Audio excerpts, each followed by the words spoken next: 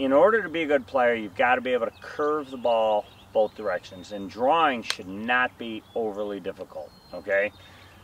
Take your grip on the side of your lead leg. So in this case, my left leg. I've got my rings right up against the side of the club. That puts my thumb slightly to the side of the lettering. And then I want to make sure that I take both an inside path back and an inside to out path down. You can see that using this stick as representation and I've laid a club down at an exaggerated angle. In reality, it will not be a 25 degree angle or whatever I set that down at, but we need the image of a soccer ball being there and me running at that ball at an angle, swinging my leg. That's going to impart spin back to the left for a right-handed golfer. Important are the wrist angles as I go through impact. So I need proper wrist angles with the impact snap and basically I'm trying to work the path of the club from inside to out. Okay?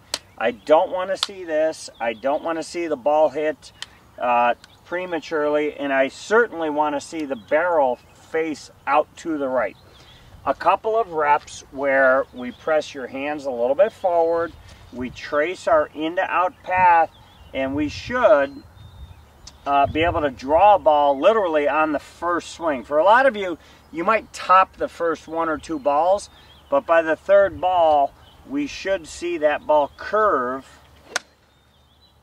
to the left. Go in.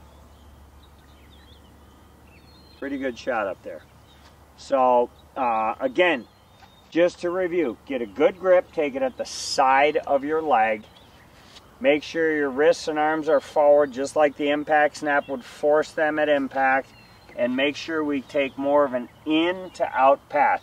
A simple drill would be to take a stick, put it slightly out in front of you, take it in, swing it out and over that stick, when you get out and over that stick, make sure your club face is looking out to the left.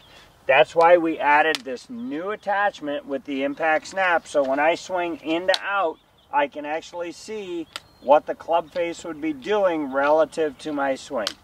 I'm sure this will help you.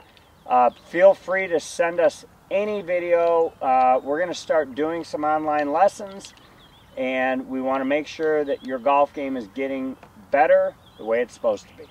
I'm Marty Nowicki with Impact Snap. Keep sharing our videos.